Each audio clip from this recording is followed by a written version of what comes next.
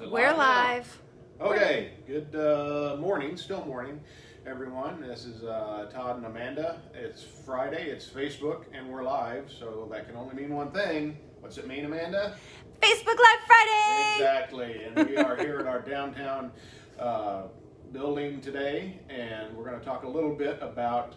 If you uh, follow us on Facebook, which if you're watching this now, you probably do, you noticed that earlier this week we mentioned it as National Locator Awareness and Safety Week. And so we're very happy to, to mention that and celebrate that. But we want to talk a little more about it because it is also Safe Digging Month in April.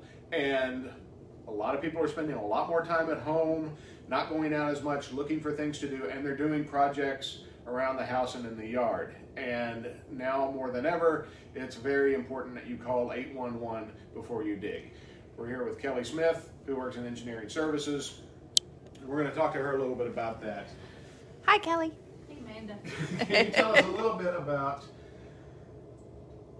what locators are, what they do? It's a, it's a fairly you know simple term, but they're out there every day. People probably don't realize it. What what is a locator? A locator to me should actually be called a damage prevention specialist.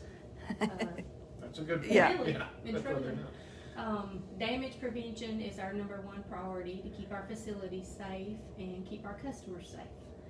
And anybody can call 811. Anybody can call 811. You just dial 811, it's a free service. Everyone has two full business days to come out and mark their underground utility lines. And that's what you'll see sometimes uh, if you're walking, going out for a walk, and you just happen to be in a neighborhood where some work is about to be done. You'll see the various colors painted on the maybe on the concrete or in the grass, and that's marking underground utility services.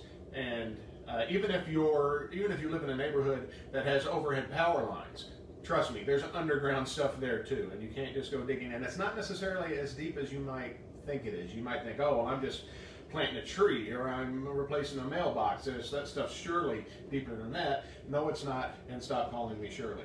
Um, it, and especially in the case of some telecommunications uh, equipment, um, uh, those wires are even more shallow, uh, so you can risk hitting those. Um, it, with with all the stuff that's going on, uh, you mentioned two business days is what, what what we usually go for.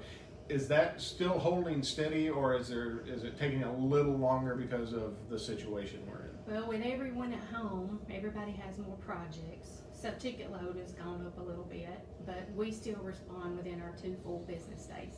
Okay, and so these guys come out, men and women come out, and they they paint uh, where the where the markings are. And every time we mention Safe Digging Month, there's always a few people who say, um, after they've come out and done this, you should go out and take a picture of it for future reference. especially if they're painting on the grass, grass is going to grow, you're going to mow it, marking's are going to go away.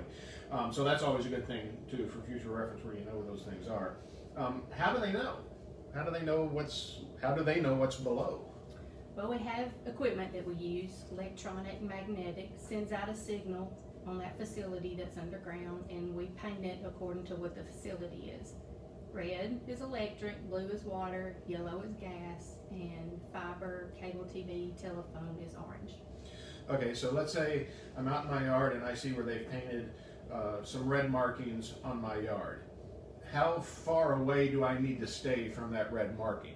I mean, I, I, it's accurate, of course, but is there a recommended? Well, if you know it's right here, you should you should not dig within one foot, two feet, three feet, whatever. Yes, 18 inches is the tolerance zone. If you're going to dig, either side of that mark must be 18 inches and hand dug. And, and approximately how deep is the equipment usually, more or less? Depends. Can't really give a depth. It might Oh, okay. went in two foot 10 years ago. Grading could be one Sure. foot. Okay. Oh, It's yeah. best to always call before you dig so you know what's there. Now, if Yeah. someone if someone doesn't call eight one one before they dig, and they end up hitting something, which which happens, um, are there what what what are the consequences of that? You get a bill. You get a, you get a bill for repair. Okay, no, that's, that's kind of what I assumed, but Yeah. Yeah. You could be out of facilities. You could knock yourself out, your neighbor out, your your neighborhood out. So it's best to always call. Well, and I would think too, there's a safety issue involved there too. If you hit some Yes. underground electric equipment, you could you Yes, can conceivably be seriously injured, if not killed, yes. by the by the voltage.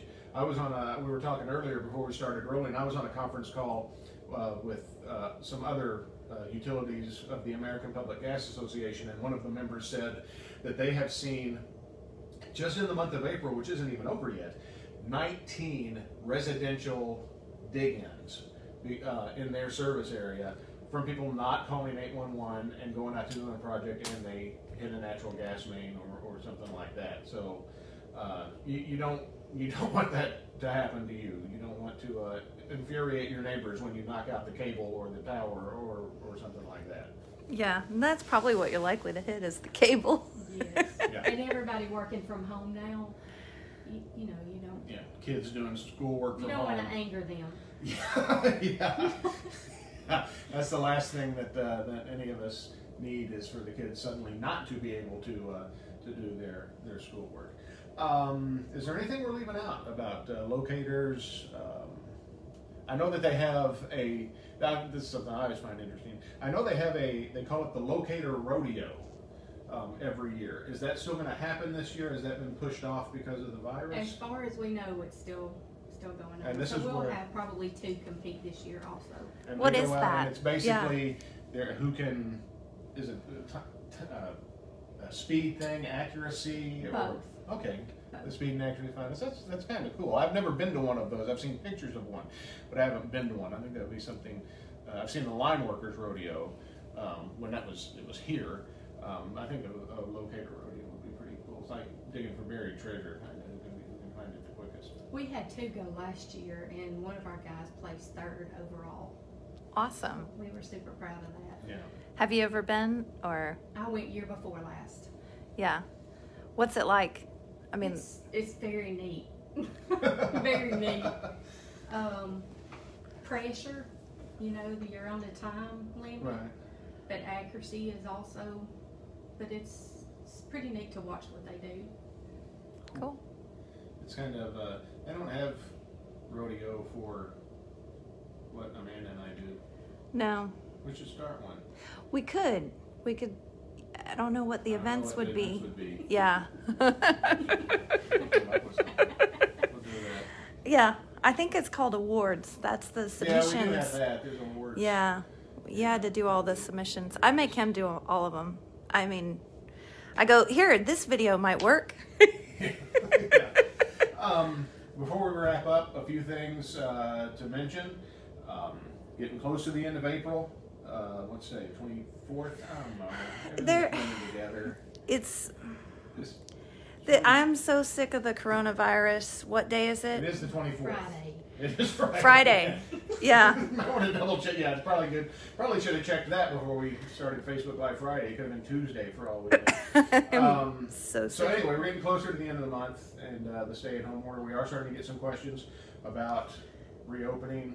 Um, those decisions are being made uh, and by our leadership team. They are in discussions. They don't let Todd make those kinds Yeah, of calls. I'm- yeah, they, they No. keep me out of those kinds of things. Um, but uh, our leadership team uh, has daily discussions. Uh, we're of course in close contact with city officials as well. And when that information uh, becomes available, we will of course put it on our social media pages on our website. But it is still business as usual at Huntsville Utilities. You can do business with us online. Our customer information center is still running, and a lot of them are working from home. But you can still call and get your questions answered. Um, you can send us a message through social media, and we'll try to do our best to get the answer for you. Um, you can still do all your financial business with us uh, through our self-service kiosks, our drop boxes. This is something that we failed to mention, and we apologize for this. Um, we've been talking a lot about the ways you can still make a payment or partial payment or full payment on your bill through the kiosk, through my account online, uh, over the phone, and things like that. We also have drop boxes uh, through the service area. Those are still being used. So if you want to use a, a drop box that's close to you, you can do that too. They are still being collected regularly, and you can find a list of those locations on our website. We apologize for not making that uh, clearer earlier. Um, but it's still business as usual. We're open for business, just not in the lobby. So, um, Amanda, this is the part where you say, you, where you tell me all the things I forgot to say. Um, we've got some new videos that are going to be posted very soon. True, true. Some new videos. Um, And, keep an eye um, out for those. I think um, a lot of posts this this week have basically been well. Um, we had Earth Day. Earth Day was the twenty second. It was this week. two days ago, which would have been Wednesday. Wednesday. Earth Day was Wednesday. Yep. Um, so ordinarily we do some things with Project Green Team uh, out at uh, Hayes Nature Preserve. Those unfortunately had to be put on hold because of uh, the virus. Of course, today Is Arbor, Arbor Day. That's why. That's why we're when all the here. ships When you plant a tree. into the arbor. That's a line from a Peanuts special. I Oh no! It's planting trees. Trees have to go Yes. real deep. And we want to give a shout out to the, the guys in line clearance um, who were recognized most. Remember, they, they planted a tree out at Challenger uh, Elementary. They were recognized by the Arbor Day Foundation for their work. Tree Line USA. Tree Line USA uh, facility is the uh, award they uh, received. Because believe it or not, our line clearance people don't just hack at trees. No, there's, there's a science to it. It's very Yeah. interesting science to it. Uh, and if you go to our YouTube channel, you'll see an employee spotlight with Kelly McNabb. He's one of our line clearance supervisors, and uh, he can tell you more about trees than than you thought was possible to know. but they know a lot about this, and they're they're very good at what they do, and we want to thank them for that. We also want to mention one uh, kind of disturbing thing that happened yesterday. We put it on our Facebook and Twitter pages. We want to remind people of that. There was a uh, tornado warning siren in North Huntsville that was vandalized. The, elect- the meter was knocked off, and the electric box inside was uh, was uh, damaged. Um, we were alerted to it by Madison County EMA, and uh, our crews went out. Were able to repair that, uh, which. There was a, a threat of severe weather yesterday afternoon. It fortunately did not really materialize, but of course, all those sirens very important. And uh, if you have any information about that, um, a, a uh, complaint was filed with Huntsville Police, and if you do have any information about that, feel free to give them a call and, and mention that because we really those sirens need to be working, and we can't have that kind of stuff. And I know that that post resonated with a lot of people. We got a lot of the angry emoticons or emojis, Yeah. little angry reaction, orange faced guy. Yeah. We got a lot of those, and rightfully so. Um, so if you know anything about that, uh, you might want to give our friends at HPD a call. What else did I forget? Um, I think that's it. I can't think of anything else. We wanted to we wanted to go ahead and do this now um, because we didn't want to tread on uh, Mark Zuckerberg's Facebook Live that he's doing Yeah. earlier today. So he called and said, "Hey, can you guys do yours earlier in the day?" And I know more people are going to want to watch you than are going to watch me. And I said, "Mark, for you, yeah." You got anything else for us, Kellie? That's all. Just be sure and call before you dig. And thanks, Kellie, for, for doing this. Um, she didn't even hesitate. And- Most people, when we ask them to do this, they, they hesitate a lot. Yeah. Um, but Kellie was like, yes, I'll do it. And we're very happy for that because she has all the information and we don't. So, and now you have the information. All right. So We'll see you guys next week. That's the plan. Yep. And if it's randomly on Thursday because I uh, get the days mixed up. Nah, I'll try to remember. I'll put put a reminder on my phone or something. All right. All right, that's it. Thanks a lot. Bye. Okay.